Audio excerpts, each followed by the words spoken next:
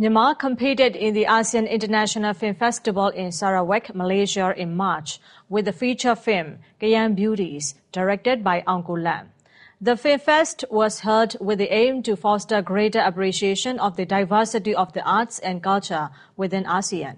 This morning, Chao Soon Movie and Video Production told MITV that it is producing a uniquely different movie entitled Miracle Weretigress, a combination of legend and romance to show internationally at the ceremony to pray for the success at Caraway Hotel in Yangon. The star-studded film will be cast by Yan Ao, Somya Tuza, Min Morgon, Lin Zanizo, Tu Tusan, and Hun Seneji. We will shoot the scenes in upcountry like Tamanthe, Yo and So, which were famous in the past for miracle happenings, Pyongyang and Southern Mye and Ceylon Islands. I'm sure the audience must be pleased and obsessed in this movie.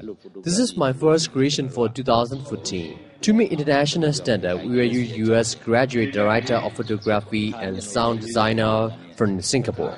It's a challenge for me as I work with Latvian expert for visual effects.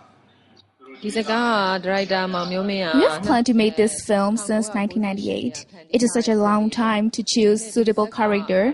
I aim to complete this movie in International Film Fest and screen in every possible country.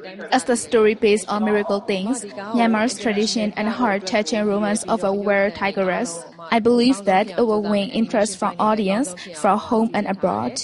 To meet international standard, we will do our best in terms of plot, audio, video, and animation without budget and time limitation. We will start shooting in Pyongyang tomorrow.